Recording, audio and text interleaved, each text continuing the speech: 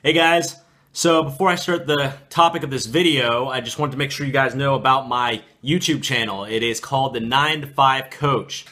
At that channel, you'll be able to see all the videos I post uh, just collected right there. So if you miss anything, you can go back and watch them. And also you can subscribe so that way you don't miss any upcoming videos. Um, and uh, like I said, you can just subscribe to it so you get notified when new stuff comes out. Now the topic for this video is going to be how many calories should you eat to gain or lose weight. Uh, particularly to lose weight. That seems to be what most people want to know about. I've made this a video before talking about it, but it seems like a lot of you are still confused uh, based on some of the questions I've gotten. So I just wanted to give you an easy, easy way to get a good starting point for how many calories you should be eating on a daily basis to lose weight. Um, once you've been doing it for a while, you'll be able to adjust those calories you'll a little bit better. You'll know how your body reacts. Um, but this is definitely, definitely a good starting point. So what you want to do is take your current body weight and multiply that by 14. So for instance, my current body weight is 165. I would multiply that by 14 and get whatever number that is. I think it's about 2,300. Uh, so that'd be 2,300 calories to stay at my current body weight.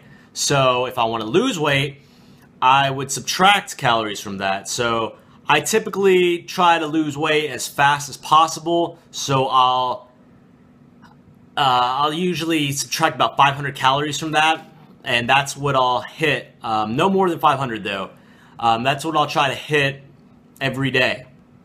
Now, there'll be one day a week where I'll have a little bit higher day, and it'll be it'll it'll be about 500 calories more than I had been eating. So the original number, so the the 165 times 14. But that'll be one day, and it won't be more than that maintenance number, that 2300.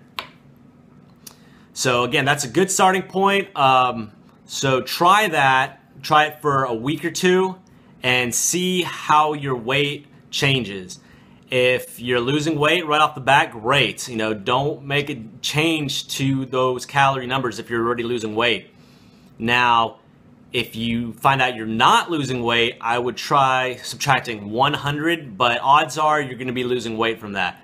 Um, again, it might take up to two weeks to really start seeing a difference because sometimes when you get on a steady diet uh, of cal- a certain amount of calories per day, your body can have a reaction in which it actually puts on uh, some water. It's not going to be fat though because it's physically really impossible to be putting on fat when you're in a calorie deficit. So don't think it's fat. Um, it could just be some water, and you'll probably shed it um, some random night. You know, you'll be, for instance, sometimes I'll be 168.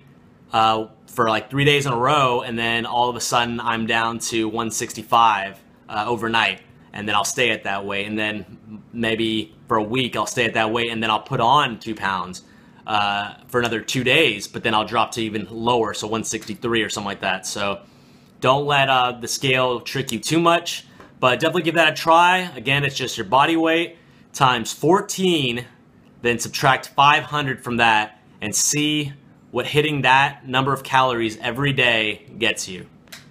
All right, guys. Again, check out my YouTube channel, The 9 to 5 Coach.